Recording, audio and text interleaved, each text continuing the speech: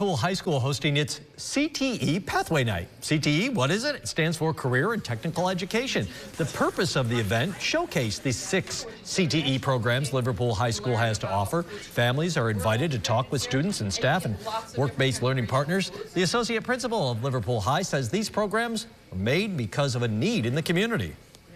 These programs allow students to learn industry standards as well as academic standards. They're able to get involved in businesses in our community, um, learn those industry skills and standards, and then hopefully be involved in a future career in those fields um, or post-secondary education.